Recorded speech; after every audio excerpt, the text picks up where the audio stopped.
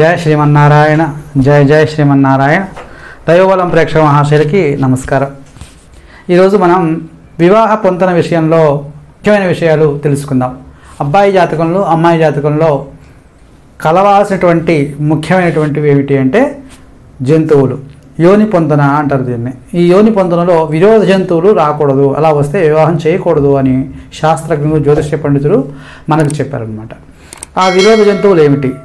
ఎందుకు ఆ జాతకులకి వివాహం చేయకూడదు అనేటువంటి విషయాలు మనం కూలంకుషంగా మాట్లాడుకుందాం. ముందుగా పిల్లి ఎలుక. ఈ జాతకులకు అమ్మాయి పిల్లైనా ఎలుకైనా అబ్బాయి పిల్లైనా ఎలుకైనా కానీ అలా ఇద్దరు జాతకంలో పిల్లి ఎలుక వస్తే వివాహం చేయకూడదు అంటారు. ఎందుకు అందరికీ తెలుసు. పిల్లి ఎలుక అనేవి విరోధ జంతువులు.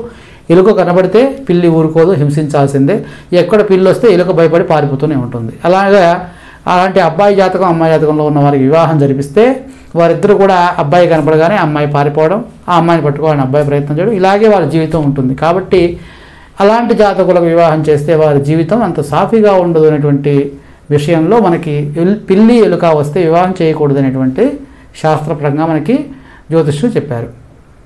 అలాగే తర్వాత కుక్క జింక. ఈ కుక్క జింక విరోధ జంతువులు ఎలా అయ్యాయండి? కుక్కేమో గ్రామంలో ఉంటుంది జింకేమో అడవిలో ఉంటుంది. మరి ఈ రెండిటికి విరోధం ఎలా ఏర్పడింది? ఆ రెండు వస్తే ఎందుకు చేసుకోకూడదు? అనేటువంటి అనుమానం రావచ్చు అందరికీ కూడా. అయితే పూర్వం ఏం జరుగుతుంది అంటే రాజులు అడవికి వేటకెళ్ళేవారు. ఆ సమయంలో వాటితో పాటుగా వారితో పాటు కుక్కల్ని కూడా తీసుకొని పోయేవారు అనమాట ఎందుకు అంటే వీరు ఆ జింకకు బాణం వేయగానే ఆ బాణం తగిలి ఆ జింక ఎక్కడో పొదల్లో గుట్టల్లో పడిపోతుంది. అప్పుడు ఈ కుక్క వెళ్ళి ఆ యొక్క జింకను తీసుకొని వస్తుంది అనమాట దీనికి కూడా కొంచెం మాంసం దొరుకుతుంది కదా. ఆ ఆతృతలో వీటితో పాటు వచ్చేటప్పుడు కుక్క గట్టిగా అరుస్తూ ఉంటుంది. ఆ అరుపు వినగానే జింకలలో భయం మొదలవుతుంది. అమ్మో రాజులు వచ్చారు.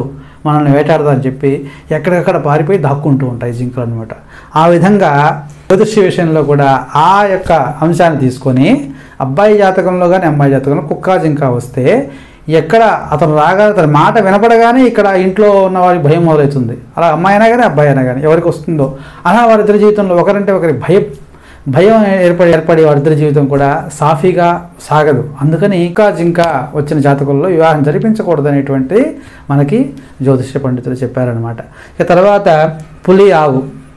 పులి ఆవు సాధారణంగా పులి కూర జంతువు ఆవు సాధు జంతువు. అందరూ పులి మేక రాకూడదు అంటుంటారు. పులి మేక అనేది ఒక ఆట మాత్రమే.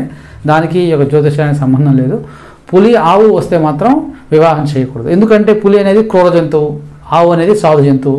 కంప్లీట్గా సాధు జంతువు క్రూర జంతువు. అటువంటి పులి ఆవు వస్తే ముఖ్యమైనటువంటి అమ్మాయికి ఒక కురుడిని వివాహం జరిపిస్తే వాళ్ళ జీవితం బాగుంటుందా?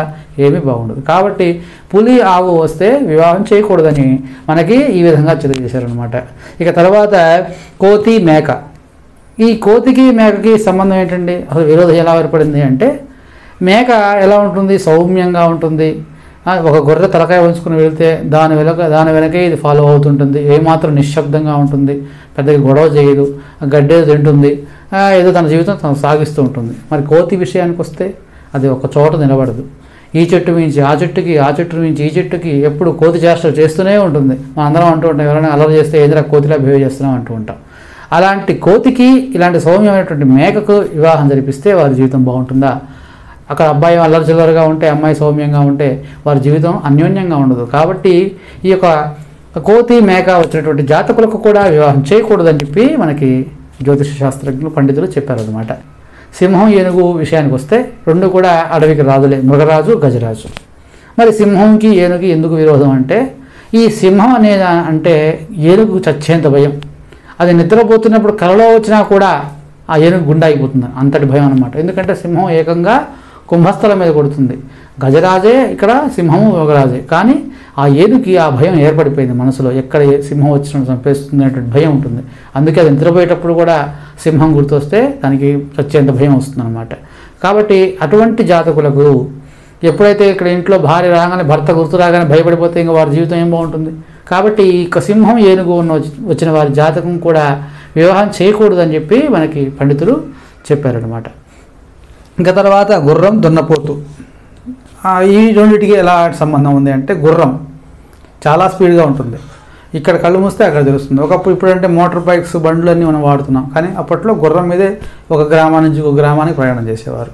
అటువంటి గుర్రానికి చచ్చిన దున్నపోతు మీద వాన పడ్డట్టే అన్నట్టుగా ఎంత వాన పడ్డా కదలని కూడా కదలదు దున్నపోతు. అటువంటి దున్నపోతుకి ఇలాంటి స్పీడ్ ఉన్నటువంటి గుర్రానికి వివాహం జరిపిస్తే వారికి ఎలా ఉంటుంది జీవితం? అలా వారిద్దరి జీవితం ఉంటుంది అని చెప్పి మనకి ఈ యొక్క దున్నపోతు గుర్రం సింబాలిక్గా మనకి పెద్దలు చెప్పారు. ఆ జాతకులకు వివాహం చేయకూడదని చెప్పేసి. ఇక మిగిలింది పాము మంగీస. మనందరికీ తెలిసిన విషయమే పాము మంగీస విరోధ జంతువులు శత్రువులు రెండు కూడా. పాము కనపడితే ముంగీస చంపేదాకా నిద్రపోదు. అలాగా ఈ పాము కూడా వివాహం చేయకూడదనేటువంటిది శత్రువులు కాబట్టి వివాహం చేయకూడదనేటువంటి విషయాన్ని మనకి ఈ ఈ యొక్క జ్యోతిష్లో చెప్పడం జరిగిందనమాట అయితే ఏ నక్షత్రం వాళ్ళకి మరి ఈ యొక్క పిల్లి ఎలుక ఇవన్నీ ఎలా వచ్చాయి వచ్చాయని ఎలా తెలుస్తుంది అంటే నక్షత్రాన్ని బట్టి వారి నక్షత్రాన్ని బట్టి వారిది పిల్ల ఎలుక కుక్క ఆవ మేక అనేటువంటి విషయాలు తెలుస్తాయి. మరి ఏ నక్షత్రానికి పిల్లుంది ఏ నక్షత్రానికి ఎలుక ఉంది అనేటువంటి విషయాల గురించి మనం తరువాత వీడియోలో తెలుసుకుందాం. ఆ వీడియో చూస్తే మీకు ఈ నక్షత్రం వాళ్ళకి పిల్లుంది ఈ నక్షత్రం వాళ్ళకి ఎలుక ఉంది కాబట్టి ఈ నక్షత్రం వాళ్ళు ఈ నక్షత్రం వాళ్ళు వివాహం చేసుకోకూడదు. ఈ నక్షత్రం వాళ్ళకి కోతి ఉంది ఈ నక్షత్రం వాళ్ళకి మేక ఉంది కాబట్టి ఈ నక్షత్రం వాళ్ళు ఆ నక్షత్రం వాళ్ళు వివాహం చేసుకోకూడదు అనేటువంటి ఒక అవగాహన మీకు ఏర్పడుతుంది. ఈ యొక్క వీడియో మీకు నచ్చితే మరి నెక్స్ట్ వీడియో కూడా మీకు కావాలనుకుంటే అందరికీ నమస్కారం. ఈ వీడియో కనుక మీకు నచ్చినట్లయితే ఒక లైక్ చేయండి షేర్ చేయండి కామెంట్ చేయండి అలాగే మా ఛానల్ని సబ్స్క్రైబ్ చేసుకోండి. పక్కన ఉన్న బెల్ ఐకాన్ని ట్యాప్ చేయండి. ధన్యవాదములు.